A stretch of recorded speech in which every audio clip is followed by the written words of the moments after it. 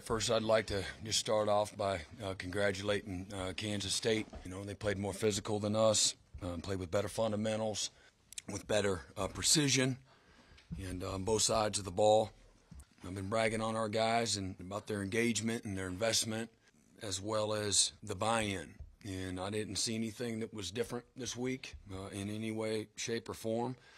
Uh, but tonight, you know, I saw a, a football game. I don't think that we played like you know we have obviously these first three weeks, and so starts with the man in the mirror, and, and uh, starts with us as coaches. Uh, obviously, we did a poor job of uh, getting our guys ready to play. Obviously, we didn't handle uh, success very well.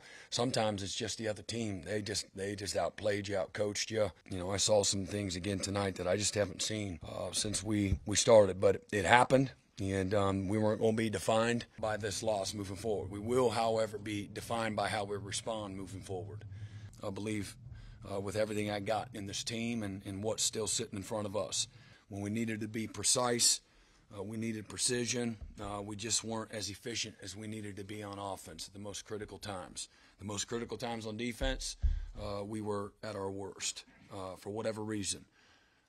In the middle of our season here, you know, uh, we got a setback, not, nothing that we planned for, and certainly uh, disappointed uh, in so many ways.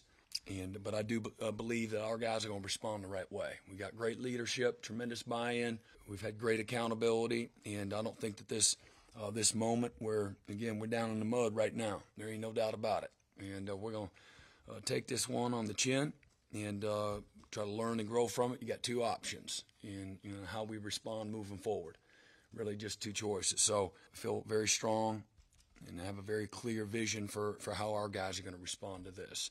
You know, get better from it is my expectation.